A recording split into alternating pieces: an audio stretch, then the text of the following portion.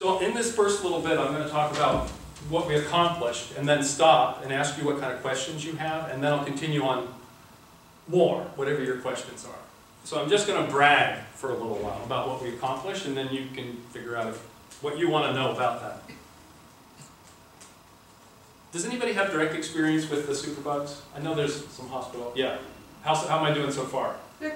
Yeah. I'm a non, uh, you know, I management guy, no experience. I walk onto an ICU. They look at me like, "You're in the wrong place, dude. Unless you're sick, you shouldn't be here. Get away."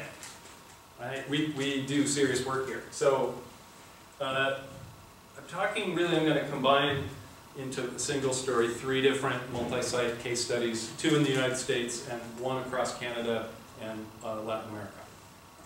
So uh, these are the typical results that happened everywhere we worked in all of those countries and all of those sites that uh, the, the, smallest number of improvement was a 40% decrease in the transmission, down to a number of places that I, I had the privilege of working where it was zero.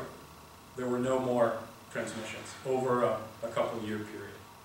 Right? So that's a pretty good improvement rate on something that everybody thought was impossible uh, to change.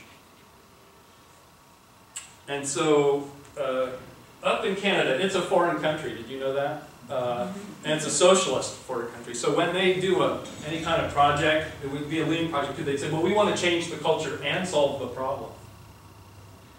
Right? So that's, they had some of this as an idea. So what we are able to do, and this is Michael Gardam, he's a doctor, he was one of the key physicians in the Toronto area when SARS arrived. And it really hit Toronto and Canada quite hard. It was a, another one of these terrible um, kind of epidemics. And so he learned some lessons and he wanted to start this Canada-wide project. We did it, we got the results like that, I just showed you. And um, the biggest surprise for him, and not so much for me, because this is what I think liberating structures do. We solve the problem by, um, with these micro structures, we change the pattern of how people work together. The fundamental, most essential pattern at the smallest scale and as a result, uh, the problem is solved, and because there's success, there's proof to everybody in that unit or that was involved in that that it works.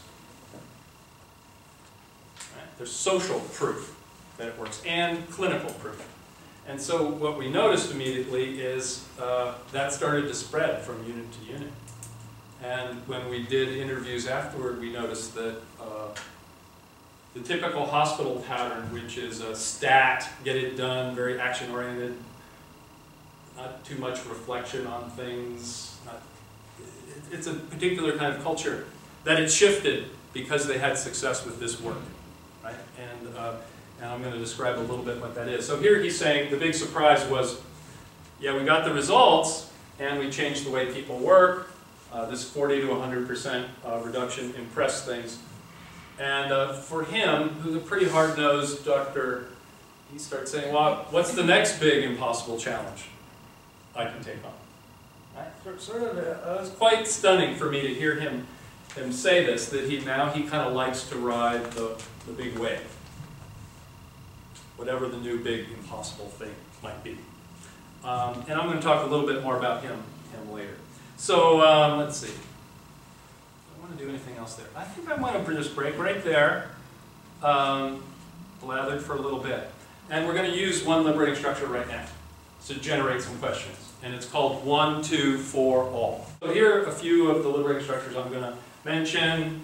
And with it they used not a formula, uh, not used in every place, uh, but these are the variety of things that got used some places and we're more effective there than others. So it's very localized, but all of these are quite simple to learn. So the whole repertoire is 33 plus five or six more that are in development since we wrote a book.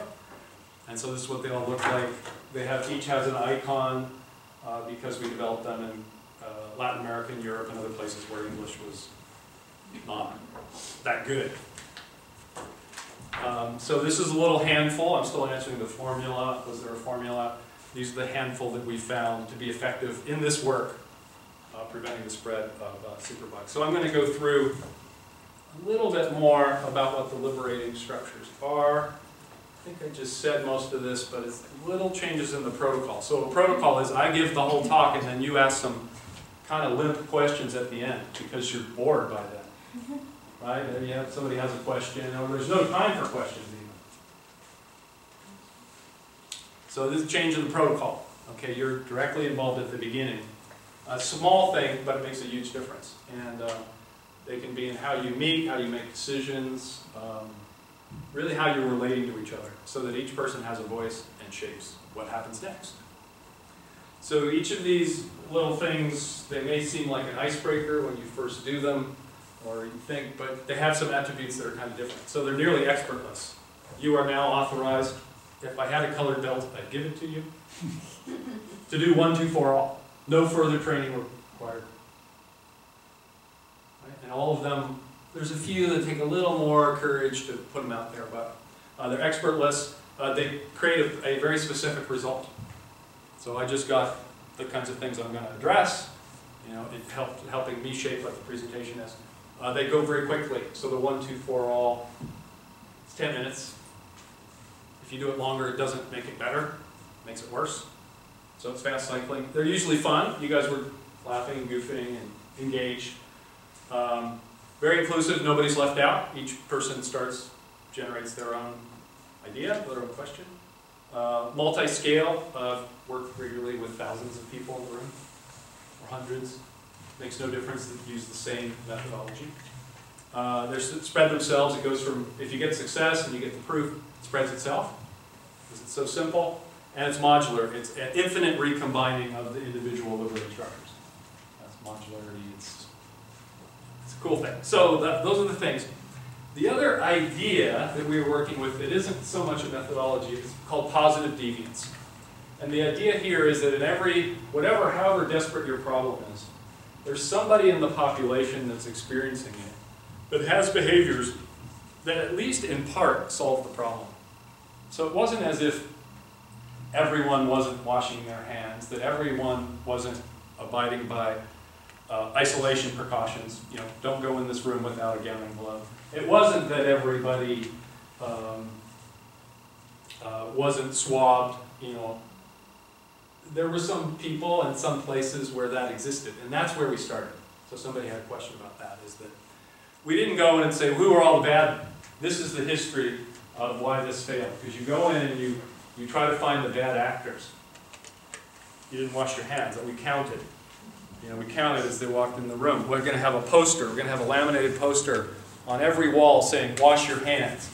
Um, why is it so hard to do all the time? So you, you admit that it's hard. This is where we start you know, go to where they are, not from some office, and we don't try to bribe them or influence them. Uh, well, do you know anybody who just effortlessly solves this problem all the time? What do they do? How do they do it? Getting any ideas? What first step did we take to act on those ideas? And this is just inviting them to invent, find and invent solutions. Um, does anybody actually want to do anything? You don't ask that early on. Uh, and then who else should be involved in our next meeting, our next try to do something about this? Right? So that's what I mean by ownership, and you go right, you study at the feet of the people who do the work. Now, I know that's close to some lean principle, I'm sure it is. Right? Um, so you're going to like this. Uh, so these are a couple things, uh, in addition to Canadians, I will say bad things about best practices and buy-in and any kind of deficit-based approach. Uh, if you need technical analytic training, you're probably not going to be able to influence a lot of people. Um, the idea that you need to go away and get some leadership poured into you and then you'll come back and be better, it's nonsense. You're perfect as you are. And um, I already said that. And so the, the thing that we're doing is uh, we focus on self-discovery in the groups of people that are doing the work. Um, down, up, and inside out work. Um, what's working here? Who's making progress? Simple, simple methods always uh, that anybody can do and learn. And um, we invite uh, ownership. So I'm going to skip this. I think you're going to get it. I guess the main thing to say here is that uh, if you do it that other way, it's very controlling And the behavior you get is, is very much dependency. Let's wait and see what the manager or the, the leader wants. And uh, it's just, it doesn't encourage, it doesn't move, right? It's So kind of like, it's kind of like that, guess what I think the answer is? You know, the, the manager you go to is like, Well, and that's usually wrong, and you have to rework it, and it goes back and forth, back and forth. So, we're trying to let go of that, focus on the engagement, get real clear about the purpose. We're here to stop the transmission of superbugs. We're coming onto your unit to learn from you how you do that. And what you don't aren't already doing, we'll invent something with you. Or you'll invent it, we won't. I didn't invent anything. Um, and so we're encouraging self-organization. Blah, blah, blah, blah, blah. So this old um, saying that the great leader is, is he of whom the people say we did it ourselves. That's what we're shooting for. And um, so this Canadian Michael Gardam, yeah, these are the results of his study. There were six sites. I worked with a couple of them, one in British Columbia in particular. And so the traditional is this doer, evidence-based practice, information and data are trusted. Uh, uh, cultural change is very complicated. You have to spend years doing it. Um, uh, leaders need to step up and take charge. Uh, top-down leadership um, from traditional leaders. So here, this is what emerged, and these two very dis different uh, cultures were operating simultaneously in the places, and this is what they noticed. Um, take time for discovery and inventing things. Um, practice-based evidence making. So that's the flip side. Where do you think evidence-based practice comes from? Practice-based evidence making comes from work on Boots the, on the ground. boots on the ground, and some of it is very localized. So we're saying one can't exist without the other, and it's a mantra you just. For me, those two always go together. Uh, stories are trusted, relationships. Uh, change is simple. Leaders need to step back most of the time. Maybe they just provide resources. And um, bottom, you can start as you give more freedom to the front line, they take more responsibility. Woohoo is the response of the leaders. Eventually, if they can handle it. The idea here, one of the complexity science ideas, is 15% solutions. So none of us have, and I think this might be a concept in me too, 85% of the system is outside of our control, but 15% is the discretion influence we have available. So we encourage that uh, quite a bit. And here's Michael Gardam saying uh, uh, how wonderful it is. Uh, ideas frontline people have, they, they take action immediately. People see their own ideas spread. So that's the way it sustains itself. And I want to give you one example here. I'm going to move forward. Uh, this guy Jasper, here he is. So one of the little things that happens that makes it hard to do this work, which we discovered and by asking those questions, I said, you know, what makes it hard to, to do the safe things all the time? Well, um, in a lot of the rooms at Einstein Medical Center in Philadelphia, uh, there'd be these big piles of leftover gowns. And it was, you know, and, and the clinicians, nurses and doctors would be looking at the room and they'd kind of go, I'm just going to go in there and do that one thing that I need to do and I won't touch anything. Which as soon as you're in there, it's over. You know, you've, you're, it's over. So he is a, a transporter, you know, moves stuff around. Um, and somebody sees him, uh, how he takes off a gown. He's like a, he's like an artist the way he does. it. He's, he's got these great limbs and, uh, you know, he spins it off and it rolls it down the final arm and it comes out in a little ball. Drops it in the trash can. He's like instant, this is a 15% solution. So he just went around and showed people how to do it. Well, the rate of gowning and gloving in isolation rooms went way up. Uh, This is a very small thing. It's a 15% solution. So we invited a lot of those kinds of things.